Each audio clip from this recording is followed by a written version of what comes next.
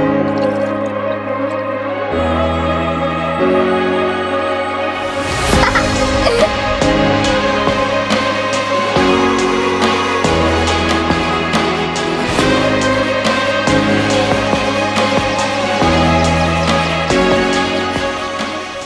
que nós não vamos descansar, nós vamos para cima no interior, fazendo o PSTB da Bahia um gigante. Cara, eu acho que você aparece como essa referência com alguém que está querendo escutar, ouvir as demandas perto do povo, porque é a partir daqui, dessa nossa capacidade de ouvir os anseios da população, que nós vamos poder ajudar muito o Brasil e a Bahia a encontrar dias melhores. Então, então acho que está na hora de nós reposicionarmos as nossas crenças, né? O PSDB nunca foi, nunca será e não é um partido é, a gente precisa é ter a mulher lá na mesa para conversar, para dialogar, para participar das decisões.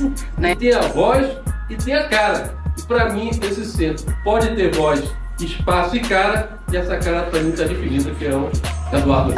Nós temos uma grande missão mostrar para o Brasil que tem opção de razoabilidade, sensatez e equilíbrio para conduzir os destinos do nosso país e o PSDB é muito importante nesse processo. Estamos firmes, estamos juntos. Na sequência, a gente vai ter outros encontros por várias localidades do nosso país. Abraço!